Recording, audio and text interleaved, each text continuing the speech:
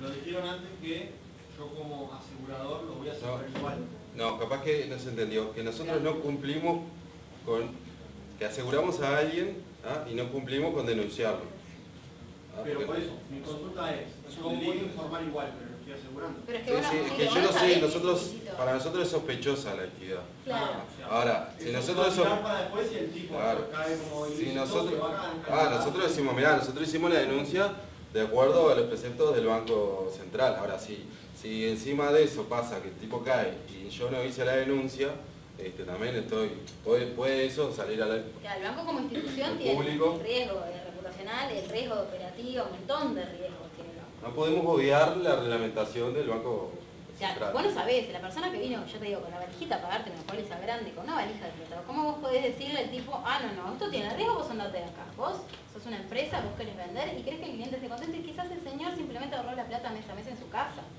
Pero vos tenés que tomar la- las Claro. medidas necesarias. Mi consulta era capaz que la operativa era al revés, ¿no? Yo primero hago un, un informe de riesgo y después me habilitan ¿no? la... No, no, no. No, hay otro tipo de riesgo que es más eh, lo operacional, el que decís vos, que tenés ciertas condiciones para tomar o no tomar un Ah, seguro. Eso es lo que hablamos del riesgo moral, que se analiza, pero eso es parte del riesgo. Obviamente capaz que coincide que la persona es eh, de riesgo según la tabla y también es de riesgo público, que yo sé que la empresa trabaja más o menos, paga a veces, a veces no. Ah, eso sí lo puedo analizar y ver si lo tomo el riesgo o no. ¿Ah? Ahora tomo el riesgo, hago la denuncia. No tomo el riesgo, también hago la denuncia porque el, el Banco Central me dijo que tenía que hacer la denuncia si cumplía con eso. Claro, Ah, pero lo otro lo tomo no desde el punto de vista comercial, si a mí me sirve, porque yo considero que el riesgo que voy a asegurar está complicado. Ahora, este es riesgo de que laven plata con esa operación. Claro. Igual nosotros, es, es muy difícil que nosotros no- detectemos algo así. Nosotros tenemos la obligación de denunciar, pero no somos investigadores de, de terrorismo ni de nada que se le parezca. O sea, te puede bomba, pasar. Vos sabés que, pero no, no te va a caer así. El tipo te va a caer de otra manera, ¿entendés? Y el, el que te lava plata no te va a venir, te va a decir, mira, tengo cinco casas de 7 millones de dólares en Punta del Este, le traigo el Audi. No, uno te va a traer el Audi a vos, va a llevar la casa a otro lado, y tal vez no compre un Audi, compre un auto más barato porque diga, bueno, no sé qué. Eh, ellos viven para eso, ¿entendés? Entonces siempre uno a veces siente que ellos están como que pensando, vos saben lo que vos pensás, esta reglamentación que la tienen ustedes, la tienen ellos, está en el Banco Central, o sea, saben a lo que vas a atacar, entonces ellos toman ciertas medidas, por eso la lista que ustedes tienen, inclusive más adelante van a ver que no es taxativa así, es solo esa, y si vos detectás algo un poquito distinto, no tenés que reportarlo. Todo lo que sea una actividad sospechosa, deberías, no está en esa lista, pero deberías reportarlo. En la actividad aseguradora hay más eh, lugares vulnerables, que vos te das cuenta que hay más posibilidad de que pudiera pasar, entonces lo atacás de otra manera. O, o ciertas transacciones que las atacás de una manera, pero la forma de atacarlas es esa, reportarlas si no está correcto el procedimiento, si no cumple con, con las medidas que vos tomás como mínimas o máximas, no sé, como quieras. Pero vos no vas a ir y decir, ah, no, esto no, usted seguramente esté lavando activos. No. Si es muy sospechoso, te revientan los ojos, le vas a avisar a alguien y seguro vas a estar. Pero probablemente hagas un millón de reportes que no lleguen nunca a ningún lado, pero vos cumplís con eso. Vos como banco decís, yo cumplí. Mañana pasa algo, decís, mira, nosotros hicimos este aviso, se pasó al jefe, se pasó al oficial de cumplimiento, el oficial de cumplimiento le evaluó, cor- correspondía pasarlo al Banco Central, que ya les digo que son muy chicos, o sea, cada vez pasan más en el Banco Central. Hay una, una estadística, cada vez son más los que pasan porque, claro, con todo el tema de moda que está, la gente empieza a tener más cuidado. Cada vez son más los casos de operaciones sospechosas que llegan al Banco Central, pero muchas veces son los mínimos, mínimos, mínimos.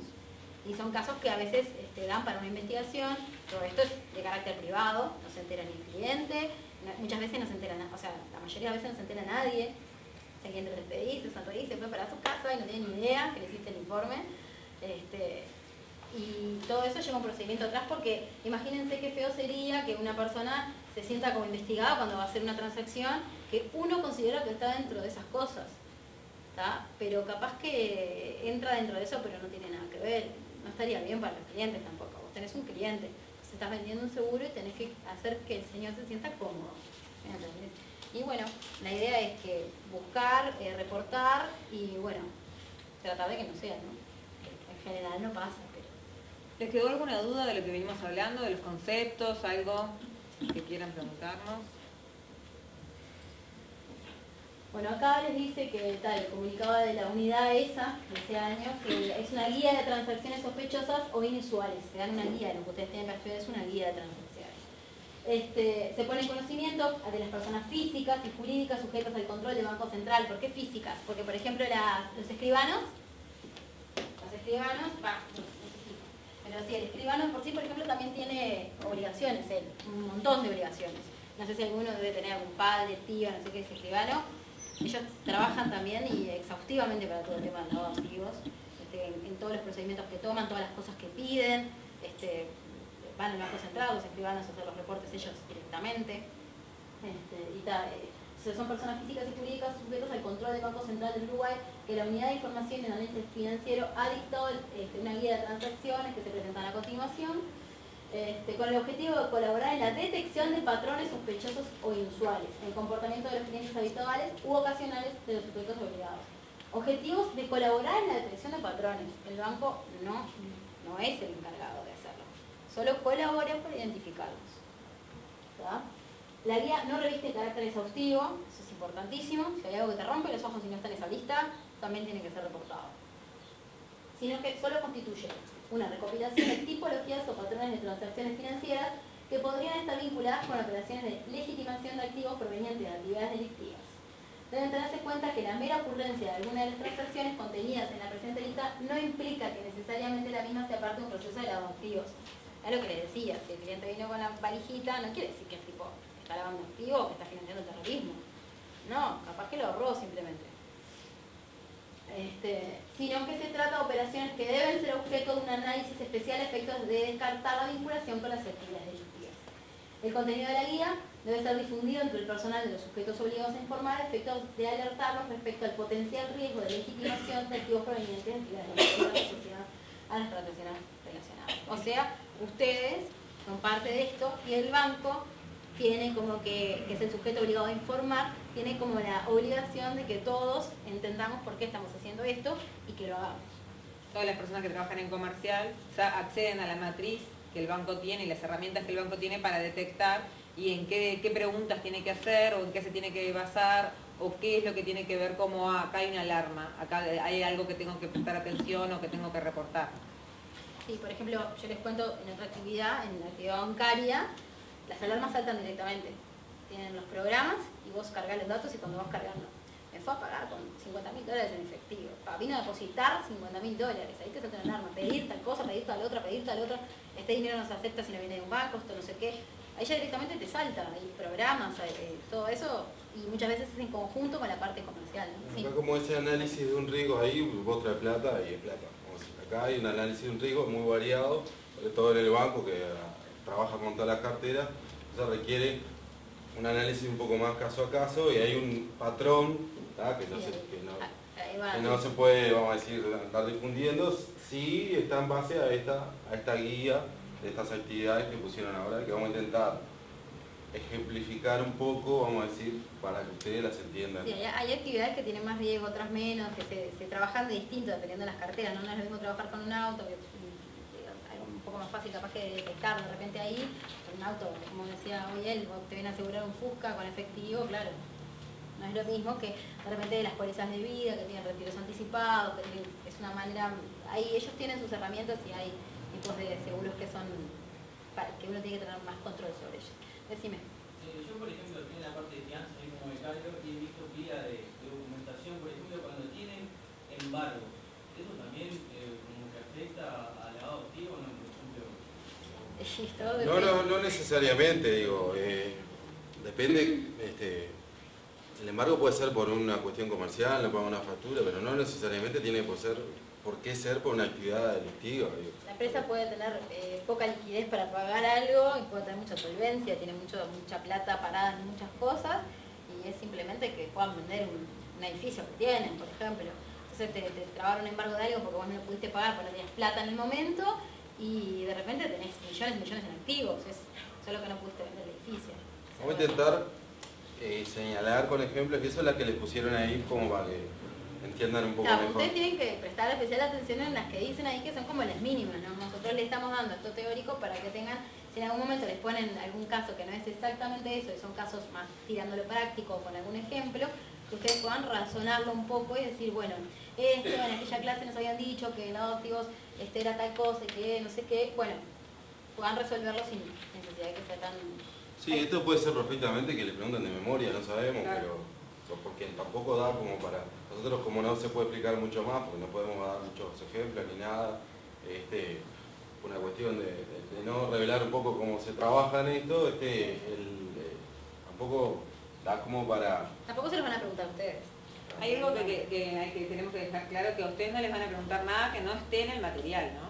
O sea, todo lo que le van a preguntar está en el material.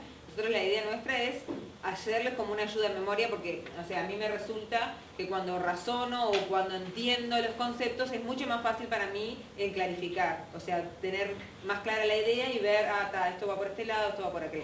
Si tengo que aprenderme algo de memoria que no tengo ni idea ni de dónde viene, me cuesta muchísimo más. Entonces la idea nuestra era eso, darles un panorama para que, que les haga más fácil, más ameno la lectura del material que es totalmente abstracta para nuestro gusto. Eh, el compañero que nos preguntó lo de fianzas, vos más o menos entendiste un poco más. A veces es, uno cuando ya está más en el tema, este, es un poquito más escabroso, pero yo creo que el concurso, vos no te olvides que va a ir para todos por igual. Entonces no van a, a- a ahondar en el conocimiento que tenga uno de algo en particular. No, va a ser... que Además fianzas no lo, no, no lo pusieron como no lo producto, pusieron. así Es muy que- difícil, el producto, si entraste con uno de los más difíciles. Sí, no necesariamente sí, puede ser extraño que alguien que esté con un montón de embargo de repente te venga a asegurar algo con de mucho dinero, entonces está, también los montos influyen en esto, ¿no? Pero eso es más relacionado, si no me equivoco, riesgo crediticio. Sí, ahí está, eso capaz que nosotros lo vemos, sí, si damos un seguro o no, pero no porque esté en el lavado activo, sino es porque difícilmente puede cumplir con la obligación que tomó para hacer la fianza. Bueno, ahora vamos a ver ítem por ítem. Los que le fueron, los que le pusieron a ustedes como, como ejemplos. Bueno, este, el primero dice- el teórico les ayuda un poco a entenderlo más. Solicitud de una póliza por parte de un cliente potencial desde un lugar geográfico distante cuando una póliza similar puede ser conseguida cerca de su domicilio. Esto vendría a ser como si alguien de Paraguay viene a hacerse un seguro a Uruguay. Entonces, ¿por qué si en Paraguay tenés aseguradoras que te aseguran lo mismo que te puedo asegurar acá? ¿Qué, es lo que pasa? ¿Que hay una reputación mala tuya en Paraguay que no te aseguran? ¿Cuál es la razón? Ese vendría a ser este... Claro, o vienen de esos, de esos países este, que ya te, te chocan los ojos, ¿viste? Las islas Caimán te vienen Claro, que es difícil rastrearlo del origen del fondo este, y que no conocemos la reputación del, del cliente este, y que perfectamente podría haber contratado el seguro en ese lugar. Mismo puede pasar en Uruguay que te venga alguien de Artigas a contratar acá cuando hay aseguradora en todo el país y tal, allá le conocen la reputación, acá no. Este, No quiere decir que... Capaz que intentó escapar un poco de eso este, y nosotros, eh, para nosotros, pues, eh, según la normativa, eso es sospechoso, este, hay que denunciarlo. Sí, reportarlo. Reportarlo, Sí, denunciarlo capaz que Sí, denunciarlo se lo suena- toman muy literal. reportarlo. Solicitud de una póliza que no se ajusta al patrón normal de negocio del asegurado. Esto vendría a ser que, no sé, yo tengo una mueblería y quiero asegurar, este, no sé, Una flota de camiones. claro, o algo totalmente diferente a mi rubro, que sea como una, no sé, un seguro de fianza o, un seguro que sea totalmente distinto a lo que es mi, rubro normal de, trabajo. Claro, no, que- ustedes no se olviden que no quiere decir que esté mal. De repente el cliente fue, abrió un giro nuevo en la empresa y se le dio, tenía una peluquería y se le dio por, no sé, abrir un kiosco eh, en otro lado o otra cosa. No, puede, no tiene que estar mal. Solo que es una actividad sospechosa, debes también de tener tus, tus propias este, medidas, capaz que por importes o por cosas, pero el tipo viene y dice, no, mirá, yo este giro le escribí porque quería abrir un kiosquito al lado de la pared, mientras se corto el pelo al lado de un kiosco, quiero asegurar los dos. Bueno, está, si luego lo estudias, no sé qué, pero entra dentro de esto, ¿entendés? Hay que tener cuidado, que te puede parecer normal, pero si está dentro de esto, son operaciones vinculadas a los contratos de seguro que podrían ser sospechosas. Ustedes le van a indagar, le van a pedir información a la persona y si la información le cierra con lo que está pasando, está, no pasa nada. Por lo general les va a pasar eso. ¿ve? Solicitud de contratación por medio de un agente o intermediario de una jurisdicción no regulada o, probable, eh, o Pobre. pobremente regulada o donde se tiene conocimiento de la existencia de organizaciones criminales. Por ejemplo, el tráfico de drogas o de actividades terroristas. Lo mismo parecido a la primera, ¿no? Ahí está. claro, ahí está lo de los paraísos fiscales. Cuando te vienen a contratar de paraísos fiscales, te va a chocar. En ese- Caen unos mexicanos de, de Sinaloa este, a asegurar cosas de repente. este, bueno, puede ser que sea normal, pero no estamos obligados a reportar. Claro, y ahí, este, sí, hay, hay muchos ahí, este, yo les contaba, capaz que yo les conté también, una lista de países.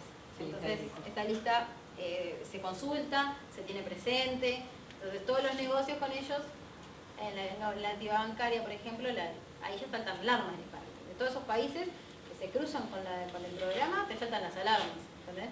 Yo les doy ejemplos de otros lados para que tengan idea de cómo se podría llegar a manejar. Cualquier requerimiento de información o retraso en la provisión de información necesaria para completar la verificación de la transacción por parte de la aseguradora. Esto es este, información que no le quiera dar la persona que quiera hacer el seguro, ¿no?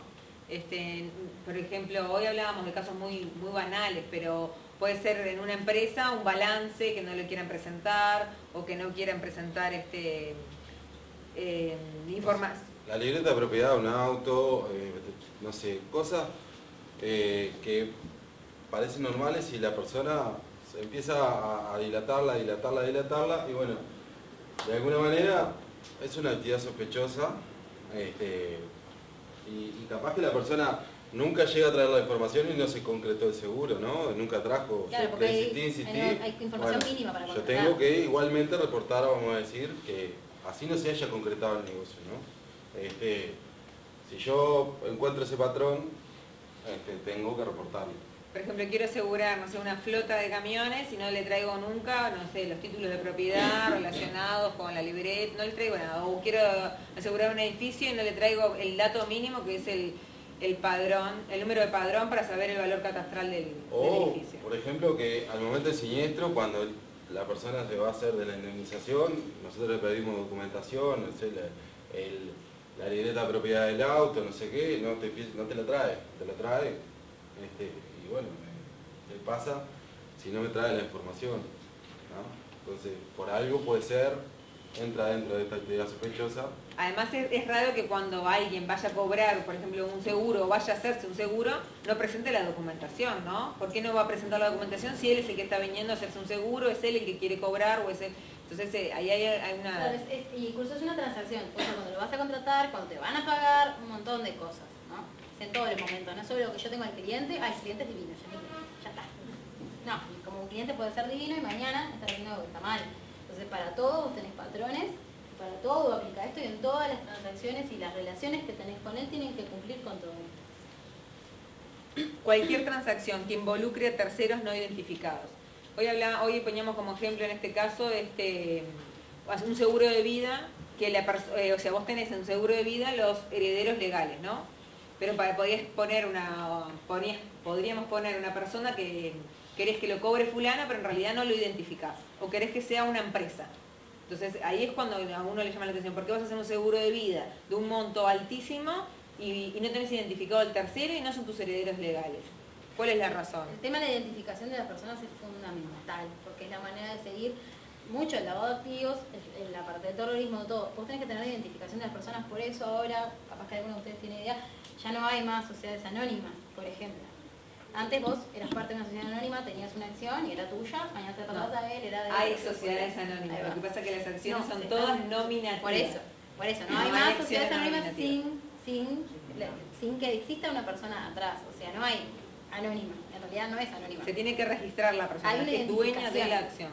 Muchas veces en esas, en esas empresas que te ponen, la empresa a su vez es dueña, es, eh, los dueños son otras empresas y los dueños de esas empresas son otras empresas y empieza como una cadena atrás que donde termina el beneficiario final nunca Pero sabes. toda está identificada, o sea, no todo el mundo tiene acceso a toda la información, pero a, a hoy ha sido un proceso de varios años y en todo este tema del trabajo este se está, se está trabajando muchísimo y se está logrando identificar a todas. Esa empresa que tiene dos empresas, que tiene dos empresas, que tiene cuatro, bueno, se está llegando a eso, es por etapas y se va a identificar a todo el mundo. No todos tienen acceso a toda la información, ¿no?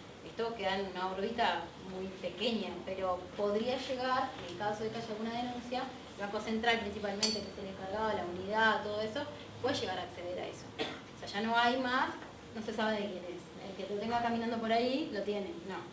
Tiene un identificar a las personas, porque es muy importante la identificación. Seguimos. Cancelación anticipada de un producto, especialmente si ello ocasiona una pérdida al asegurado o se solicita la devolución de dinero en efectivo o cheque a nombre de un tercero. Esto es cuando nosotros hacemos, por ejemplo, un seguro de un auto, lo aseguramos en un 3x2, que son 3 años, que pagó 2 años, y vengo a los 3 meses y lo quiero cancelar. Eso pasa, puede pasar. Vendiste el auto y lo, lo- cancelas y te devuelven el importe o lo transferís a otro vehículo. Pero cuando la transacción, por ejemplo, se da en una empresa que vende, eh, cancela toda, mm, aseguró toda la flota de sus autos y viene a los tres meses y te dice, no, voy a cancelar, y vos ves que va a perder un montón de plata, y decís, qué raro, ¿por qué esta transacción? Y no vuelve a asegurarlo en ninguna otra aseguradora, ni, ni hace ninguna ninguna otra tra- eh, eh, ninguna otra transacción que vos la entiendas como probable, ahí es cuando no entendés por qué la persona va a perder plata para, para tener una devolución. Porque cuando cancelás un seguro tenés cierta devolución de dinero. Imaginen, o sea, nosotros vimos, ¿se acuerdan lo que era la tabla de términos cortos? Que cuando se devuelve por el asegurado en cualquier momento puede dar de baja el seguro cuando se le aplica, en la mayoría de los casos, lo que se llama este, la tabla de términos cortos. Entonces, el cliente ya sabe, puede ya saber, este, general vos das de baja el seguro por alguna razón relativamente válida. Ahora, este, si está más interesado en dar de baja el seguro que, en contratarlo, eh, ahí ya se llama la atención, ¿no? Sí, yo este, pasaba el hecho muchas veces, por ejemplo, una cosa que, nos contó en un curso que hice una vez la Adoptivos, la parte aseguradora tiene, por ejemplo, eso de que viene un tipo y te dice, vos tenés un, que me decía que no lo, estudiaron ustedes, pero hay algunos seguros tienen no solo cancelación anticipada, sino que a su vez tienen, una, tienen préstamos y cosas en el medio. Entonces, es una manera de obtener dinero. Una cancelación anticipada capaz que la ven fácil. El tipo viene y te dice, vos tenés un seguro X, que podés ir y retirar la plata a los tres meses, sí. ¿Cuánto te dan? 20 mil dólares. Bárbaro. Yo te voy a dar 50 por ese seguro y te lo compro. Y lo cobro yo, ¿está? ¿Vos qué haces? Obvio que se lo das. O sea, me van a pagar 20 y vos me haces 50 en la mano ahora. Sí, claro, no hay problema. Yo te lo pongo a tu nombre. Mañana vamos, lo cancelamos. Y el tipo perdió 50, el famoso concepto de materialidad, pero tiene 20 legales. A él le sirve eso. Porque él no tenía nada. Él con ese dinero no podía hacer nada. Tiene, como decía eh, Manuel, en la casa lleno de billetes por ahí que lo obtuvo de alguna de esas actividades ilícitas. Es una manera de llevarlo a la parte legal. Entonces, para él es dinero ganado. Ganar, ganar. Vos estás ganando, decís, "Está, ganamos todos. Pero es de alguna de esas actividades que no están nada, nada, nada buenas. Este, incluso digo, se obtiene dinero de tráfico de órganos, de cosas por el estilo, y, sin querer estamos, este, si no haces una reglamentación, si no cuidas eso, estás colaborando en esas actividades. Entonces, ese tipo de pólizas tienen ese, ese- son más vulnerables, pero tenés que tener otro cuidado, estudiar más las cancelaciones, no brindar ese dinero a cualquier tercero. En caso de ser un tercero, ¿quién es el tercero? ¿Tu hijo que lo va a cobrar por algo? ¿Quién? ¿Qué pasa? Seguimos. Transferencia del beneficio de un producto a un tercero aparentemente no relacionado. Esto volvemos a lo mismo, ¿no? Es un tercero, le, le quiero que el beneficiario sea alguien que en realidad no está relacionado ni con el giro, ni es pariente mío, ni por qué lo voy a hacer cobrar un beneficio de algo, de un seguro mío. Vamos a insistir siempre, ¿no? Puede ser que sea totalmente válido, pero este, Si dentro entra dentro de esto, este, Tenés que hacer ponen al amante en el beneficiario y decir, está, no tiene nada que ver, no es pariente, no es nada, y era el amante, está. Este, Tiene un vínculo. tenía un vínculo, pero nosotros no lo conocíamos, pero está, eh, eh, González y Pérez, no, acá no, no sé nada, eh, tenemos que denunciar, reportarlo. Hay que reportarla, hay que Por eso es hacer que- el procedimiento que Por corresponde. eso Adriana decía que la mayoría no llega, la mayoría de los reportes no llegan al Banco Central, ¿no? Hay una investigación previa que hace que no, no, no se llegue a una investigación grande con respecto a estas cosas porque pueden ser algo tonto. Y a veces llevan años, muchos llevan años. En Brasil, por ejemplo, todo lo del chato, eh, o sea, cayó, todo lo de los activos, todo lo de los gobiernos cayó por un lavadero de autos. O sea, por eso se llama lavallato. Entonces decís, "Ay, ¿cómo cayó un lavadero de autos? Sí, un lavadero de autos estaban lavando en eso, y si se llegó ahí, fueron a otro lado, empezaron a ver, cayó el gobierno de Brasil. O sea, a veces las cosas empiezan por cosas chiquititas. Es que tiene que ser así. Ellos tienen una mente que los, los hace ser muy creativos en su manera de manejarse y, y de crear situaciones o transacciones que, los, que les permita eso. Sí. Sí. Hay A un ejemplo, hay un ejemplo acá de- del cambio de Nelson, ahora lo vamos a, a ver. Solicitud de compra de un contrato a prima única por una abultada suma por parte de asegurados con poca experiencia en lugar de adquirir una póliza a prima periódica. Lo normal es que uno haga un, que contrate un seguro y vaya pagando este, periódicamente, no que venga con toda la plata y pague directamente la póliza. Un seguro de vida vos no vas a, pagar toda la, la prima de una cuando vos lo puedes pagar de aquí a que, te mueras, ¿no? Es claro, son. Lo capaz que alguien tiene esa plata y dice, yo la quiero destinar a eso, bárbaro. Pero la verdad es sospechosa. ¿Se acuerdan que en la parte de vida dijimos que se podían pagar semestrales, no sé qué? Este, pero en general, mucha de esa gente ya es personas que manejan que esto le da mejor rendimiento que el, banco, que este, si por alguna razón por ahí dice con poca experiencia y viene y ya quiere contratar eso de una, este, también puede ser este, lícito o no, pero tal, nosotros tenemos que reportarlo. Claro, nunca se olviden de ese concepto. No quiere decir que esté mal, no quiere decir que la persona esté lavando, no quiere decir que sea financiamiento de terrorismo. Simplemente quiere decir que está tipificado en ese lugar, está, está metido ahí dentro de uno de esos conceptos y hay que hacer algo, y hay que tener respaldo de que el banco, para no tener riesgo, lo hizo. No quiere